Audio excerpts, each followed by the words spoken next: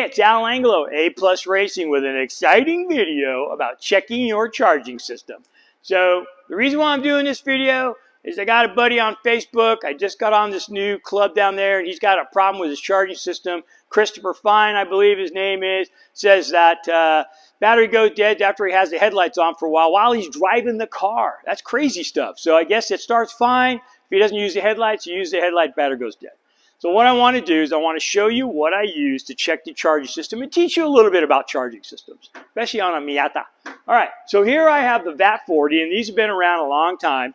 And uh, this is like the most sought after piece of equipment when it comes to checking out charging systems. Um, they're pretty hard to find nowadays. I got a few of them here at the shop. And uh, like I said, everybody wants them because they, they really go into detail about what the charging system is doing. But before I do anything on a charging system, I always check to make sure that the battery's in good shape. So what I'm going to do is I've got this hooked up to the battery. I saw that the battery is about a 370 cold crank amp battery. I'm going to load test it to half of the cold cranking amps and see what the voltage does. The voltage should not drop below 9.5 volts. Now, as I see here on this voltage gauge, we have 12 volts, all right? So I've got this all set up. I'm going to load it to 150 amps right there and I see it's at 9.5 and slowly dropping. So normally we would do this test for 15 seconds. It was just dropping below 9 volts. This battery is not in the best of shape, but it's not real, real bad. Okay, so I know that the battery is good enough in this car to at least start it, and it's probably going to last a year or two. All right, so let's move on to the charging system test. So that was the battery test. So before I go into this test, I want you to know what I'm looking for. So what I'm looking for is I'm looking for voltage above static voltage. What is static voltage? Static voltage is voltage with the engine not running.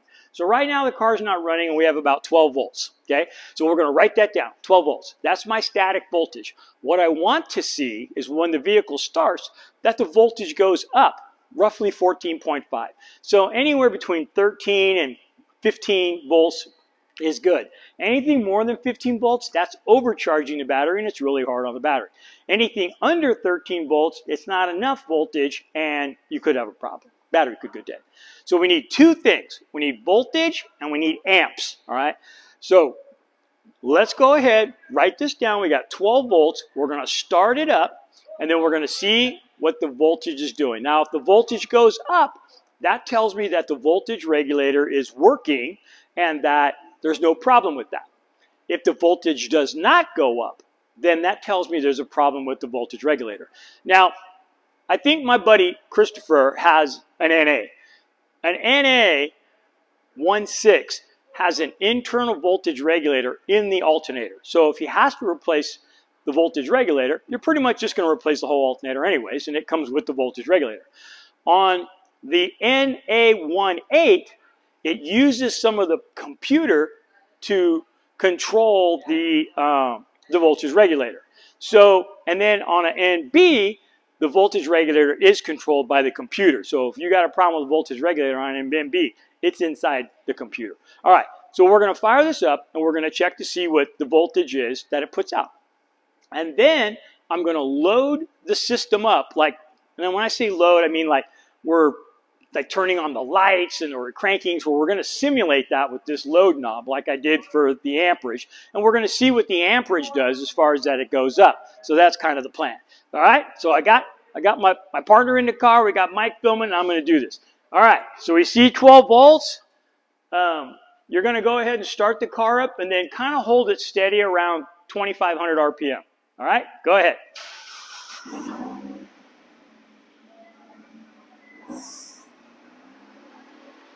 Okay, so you can see we're at 14 volts. And that's where we should be. That's pretty good voltage, okay?